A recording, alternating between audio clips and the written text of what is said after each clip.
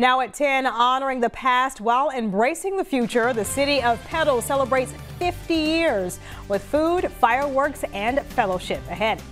Plus, supporting local nonprofits one step at a time, hundreds of runners, walkers, and cheerleaders put their best foot forward in the Hattiesburg Half Marathon. And expect partly cloudy skies in the Pine Belt. Not quite as cool. The uh, news at 10 starts right now. Tonight, WDAM 7 News is proud to be on your side. With WDAM 7 News at 10. Hey, Pine Belt tonight, the city of Petal celebrates 50 years of incorporation. Welcome in. I'm Carrie Leggett Brown.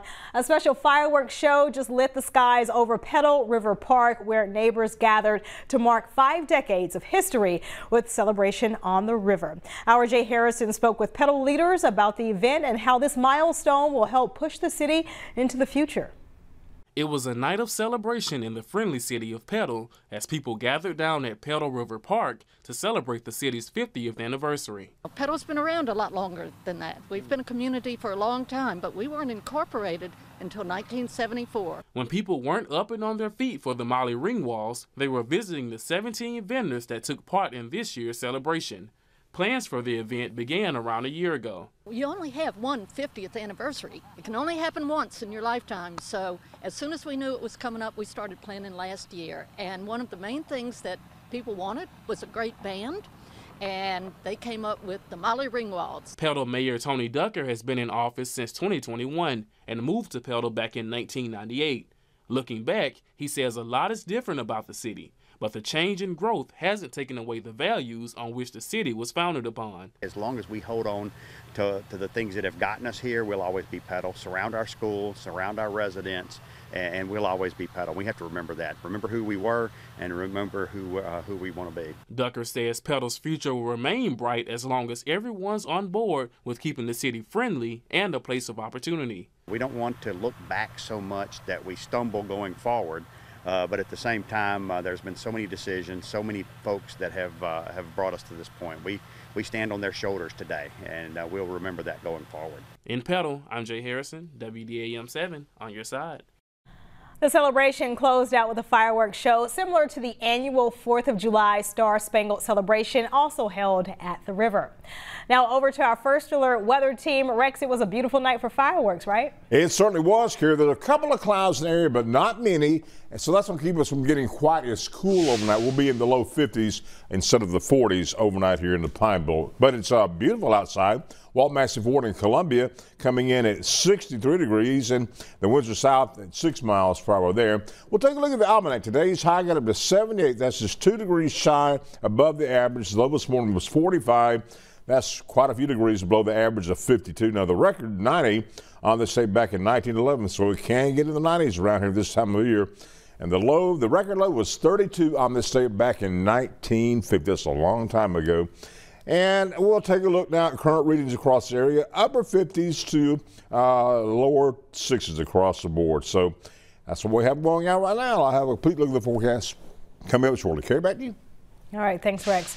Developing in Hattiesburg, bond is set for the third suspect in the shooting death of 15-year-old uh, Janae Lumsey. 17-year-old Brian Brown was arrested Thursday and charged with first-degree murder. Today, officials with the Hattiesburg Police Department tell us Brown's bond has been set at $250,000. Another suspect in custody, 17-year-old Nicholas Adutula, has the same bond amount. 20-year-old Javon Stovall is being held with no bond.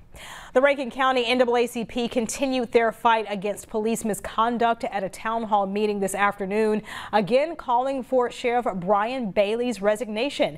It's their third meeting with the same goal. People brought petitions to the Brandon Public Library calling for Bailey to be removed from the department. NAACP President Angela English and attorney Trent Walker spoke on their efforts to address the issues surrounding his conduct during and after the sentencing of six former Rankin County law enforcement officers who pled guilty to the torture of two black men. English says the petitions speak for themselves. Both parties are sick of what is going on. They are ready for Bryan Bailey to go. So again, I say it's not a black and white issue. It's not a uh, brown issue. It's not an Asian issue. It's a human rights issue. The NAACP already have uh, has around 29,000 signatures for Bailey's resignation. More than a half dozen nonprofits across the Pine Belt benefited from an annual event this morning that attracted more than 1,000 runners and walkers. It was all part of the Hattiesburg Half Marathon, 10K and 5K. 1,500 participants made their way through parts of downtown Hattiesburg, raising money for organizations like the Arc of Southeast Mississippi, the Domestic Abuse Family Shelter, and Southern Pines Animal Shelter. This is my first Hattiesburg half, so I'm excited to see it. I've heard a lot of good things about all the charities on the different miles and the crowd support, so I'm really excited for the run. It's incredible for the city. The race sold out early. There's so tons of people here. It's going to be a good day. It brings people in from all over the place. We'll have people from probably 30 plus states that came in. We had a, a three or four countries, you know, represented the last couple years. Met someone yesterday from Bermuda who's running in it for the second time. They came back. The city's first half marathon back in 2012 also featured a 5K and was organized by employees of Hattiesburg Clinic. And some race participants carried more than first place ambitions today. Several members of the Hattiesburg Fire Department hit the pavement wearing their gear, which weighs about 70 pounds total. HFD says each member crossed the finish line. So congratulations to those guys.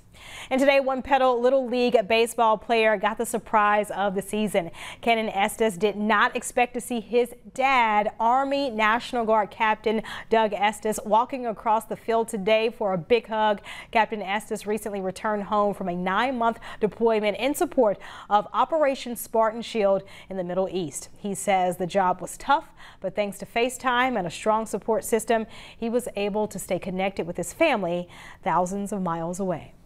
These days and age, you know, technology has just uh, come so far, and it's such a blessing. You know, back in the early 2000s, uh, we didn't have that. People didn't have that whenever they were deployed overseas and couldn't see family and talk to family as much as we could. But we were blessed uh, and able to be able to do that and, and stay in touch.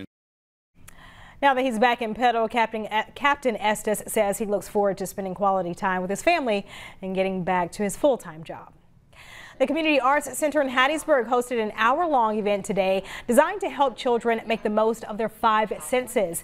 This Sensory Saturday featured all sorts of fun, hands-on activities for kids from two to six years, uh, six years of age with various levels of abilities. The folks from Bright Steps Pediatric Therapy Services were on hand to guide the youngsters through several sensory exploration stations it's come and go activities so they can come stay for the full hour. If you only got 15 minutes, you can come stop by.